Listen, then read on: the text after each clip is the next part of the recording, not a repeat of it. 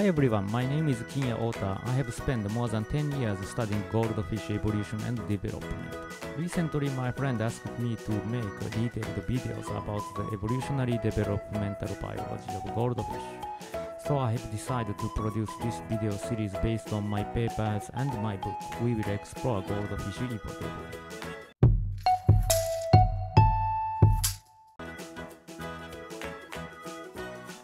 The previous video we discussed the method for observing hatched larvae and juveniles.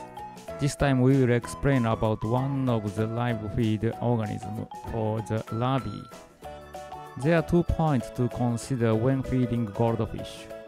One is to avoid polluting the water. The other is to ensure that each individual in the tank receives sufficient food. Especially for newly hatched goldfish, they are still very small and can easily die in large numbers due to poor water quality or lack of nutrition. Therefore, careful attention is required. As the fish grow from larvae to juveniles, their body size increases significantly. Therefore, it is necessary to select the appropriate food according to their developmental stage. Large juveniles and adults can easily consume large food. However, newly hatched larvae have very small mouths and cannot eat large food.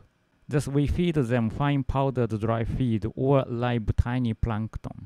Dry food is easy even with just dry food. The goldfish can grow well. However, there are many benefits to feeding live plankton. Therefore, in our laboratory, we cultivate paramecium and artemia uh, as food and give them to the goldfish. In fact, larvae and juveniles included in our paper grow up eating paramecium and artemia.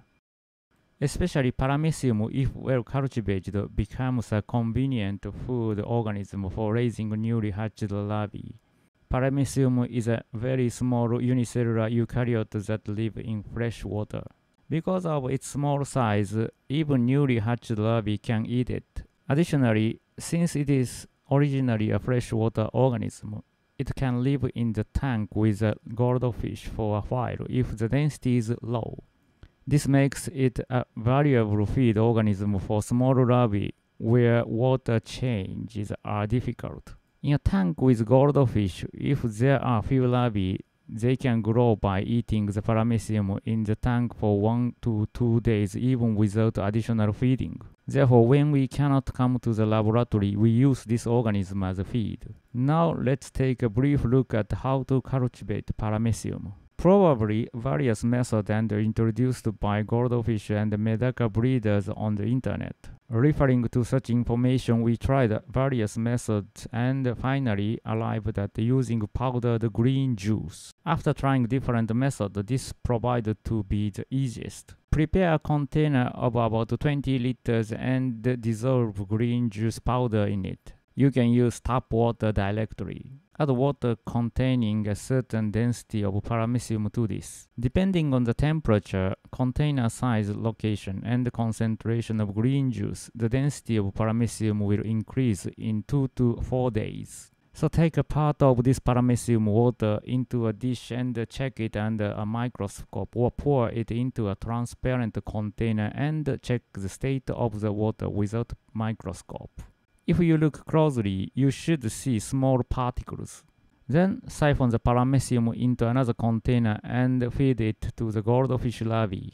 The process is as shown, but uh, my explanation might have been too brief. Some of you may wonder how much paramecium is needed to sustain a certain number of goldfish. Indeed, my explanation may not be helpful if you want to try it yourself.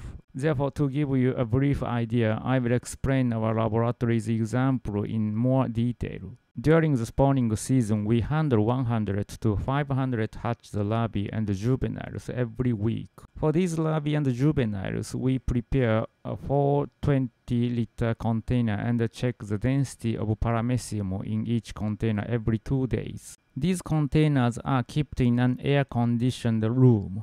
The reason for preparing four container is that it is difficult to manage the growth of paramecium strictly according to the timing of larvae hatching. But with four containers, one of them should have a stable growth of paramecium. So when the larvae hatch and start eating with correct paramecium from the container with the most growth and use it as food. If we maintain the condition where paramecium is stably growing in at least one of the four container every day, we can provide enough feed for about 100 larvae during early stages. The purpose of feeding paramecium is to avoid using dry food or artemia and to help the larvae get through the sensitive early stage quickly. Therefore, it is not needed as much once the fish have grown larger. Hence, as long as paramecium can be stably grown when needed, it does not require a big amount. Uh, so far, this container size and number have worked well. However, sometimes we need a large amount of paramecium urgently. In such cases, we increase the concentration of green juice and culture paramecium. Raising the temperature to above 25 degrees also help obtaining more paramecium. As shown in previous videos, fertilized eggs hatched in about 4 days. Therefore, we can roughly predict the number of larvae that will hatch 4 days after artificial fertilization. Based on this prediction, we prepare the environment for large growth of paramecium in advance. Additionally, it is worth noting that the container are covered with algae inside. For some reason, maintaining this environment helps paramecium grow stably. Honestly, we also tried to cultivate paramecium strictly in sterilized glass containers. Uh, but uh, it doesn't work very well in our laboratory. After trial and error, we concluded that this management method is the easiest.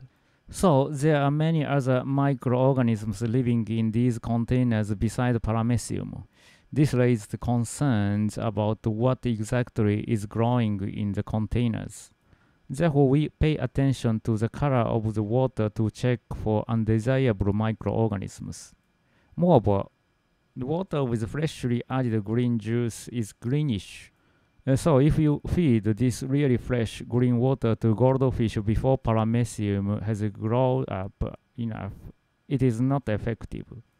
Over time, the water may turn green due to algae, making it harder to see paramecium, but they might still be there if you look closely. In this case, we use it as food. In any cases, we carefully check what microorganisms are growing in the container before using them as food. To ensure that all larvae received enough paramecium, we add paramecium water in the morning and check the density in the tank in the afternoon or next day. If paramecium decreases, we add more paramecium water. Another important point is to always cover the containers. Any type of cover that allows ventilation and prevents insects from entering is sufficient. Mosquitoes particularly like paramecia water and if you are not careful, they will lay eggs in it. If mosquitoes start flying around the laboratory or breeding room, it becomes very annoying. Therefore, we pay close attention to this and manage it properly. To summarize, we take care of following points in our laboratory. Prepare multiple containers. Plan the growth of paramecium. Pay attention to water color. Always cover the containers. I forgot to mention how we obtained the initial paramecium culture. We got the initial paramecium from the Taiwan zebrafish core facility at the Academia Sinica you may find institutions in your area that maintain paramecium cultures. There are methods to isolate paramecium from nature, but it seems a bit complicated, so we haven't tried it yet. We will report if we have a chance to try it in near future. This time we explained how to grow and manage paramecium in our laboratory. If you want to grow paramecium and feed it to your goldfish, And if you have any questions, please leave a comment. Now a preview of next episode. These larvae grew up eating paramecium will need more nutrients. Next live feed organisms will be Artemia. In the next episode we will explain about Artemia. It is time to say goodbye. I hope you learned something new about goldfish development and evolution from this episode. Please be sure to subscribe to our channel to catch the next episode. See you soon.